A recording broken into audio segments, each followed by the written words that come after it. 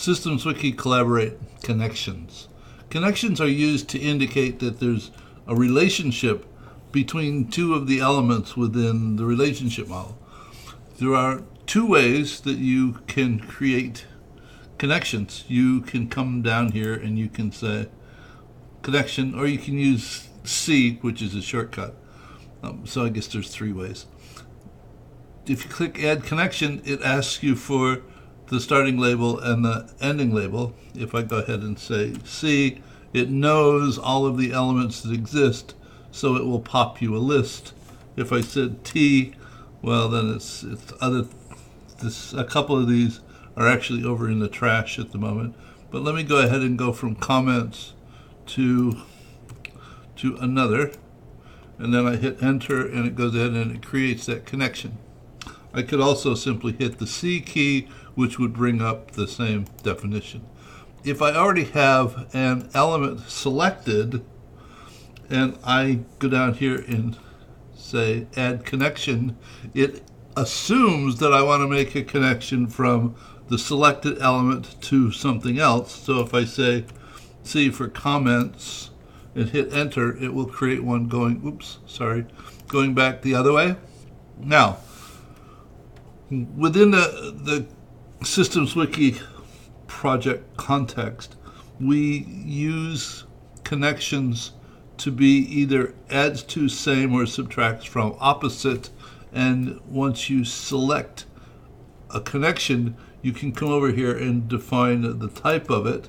The adds to, same are blue, and the subtracts from, opposite are dashed red lines, so it's real evident just from looking at it to determine what the relationship was defined to be. Now, the the way that you determine what the relationship is, whether it's adds to same or subtracts from opposite, is to ask yourself if this element increases, does this element increase or decrease?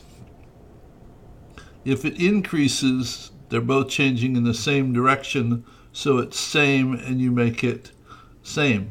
If this increases and this decreases, then it's opposite and you make it the subtracts from relationship. Now, the, the definition for connections are overloaded, which tends to make it somewhat confusing. And the reason the definition is overloaded is because it has to do with the nature of the relationship what what's being related to. Because there are different kinds of elements. There are those elements which are stocks those things which uh, represent an accumulation of something. And then there are constants or variables. If in the context of a savings account Principal interacts with interest with interest rate to create interest, but interest itself doesn't accumulate. It's principal that accumulates. So in this context, if principal increases, interest would increase. Though once interest is created, it actually adds to the principal. As I said, interest doesn't accumulate, but principal does, and that's why on this particular um, label or particular set of relationships, this one is labeled as same and this one is la- labeled as adds to.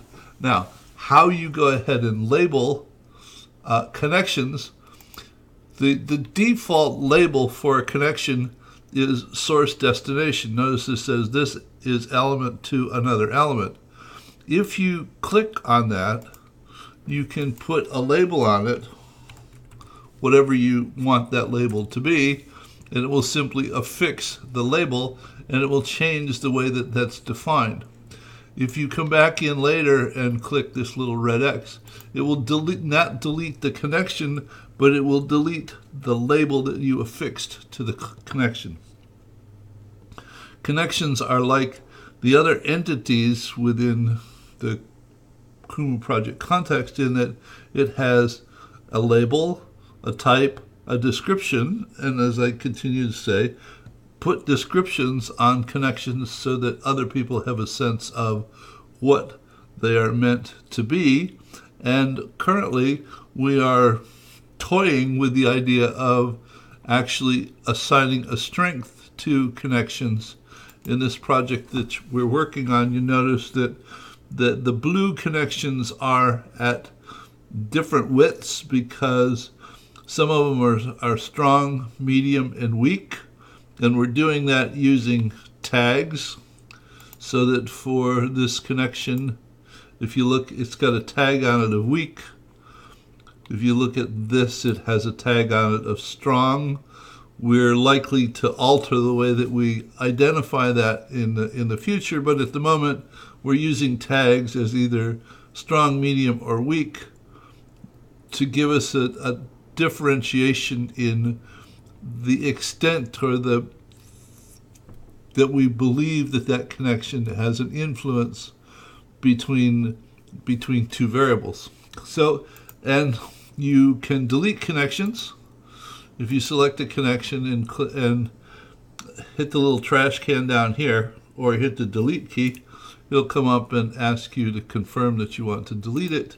But then notice down here it will say you deleted comments to, from, and give you an option to undo it if you like.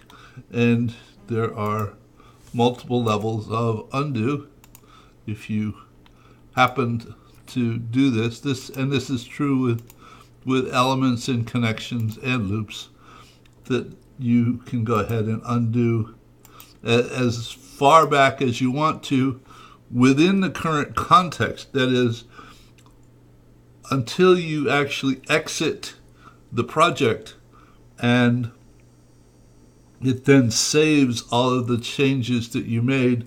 Once you go back into the project, you can't do undos from your previous session. So within the current session, you can do undos. Um, and I think that's probably the extent of comments about elements at the moment. Um, I'll talk about loops shortly. Take care. Bye.